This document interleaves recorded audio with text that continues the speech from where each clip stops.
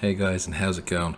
Today we're looking at the third last automation obstacle. It's called Get Sue's Number. Now, this looks to me like we download a little bit of XML, and the XML file then contains a, a phone number. So, hardly complicated, is it?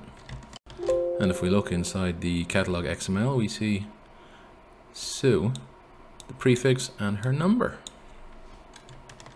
Now for those of you who are paying attention, do you remember there was an obstacle called BFast Automate?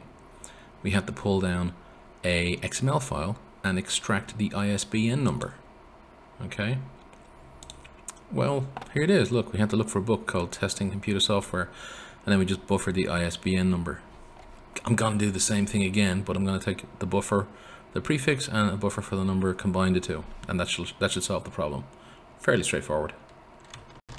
So if you want to interact with an XML file, all you have to do is say scan a file. Navigate to your file and click OK. You've then got a little XML, a little module that will allow you to play with your XML.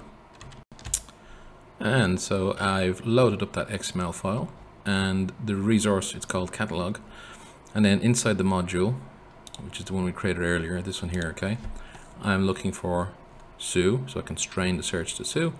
I buffer the prefix and I buffer the number. And you need to run both at the same time. And what we'll see is that we have gotten a bunch of values. Fairly straightforward. There we go. 061 and 897. So now inside the number field, we just want to insert the uh, the buffer. And we also need to put in the number,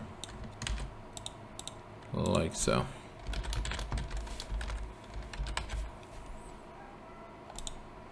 Okay, so if we try to run that, let's see what we get.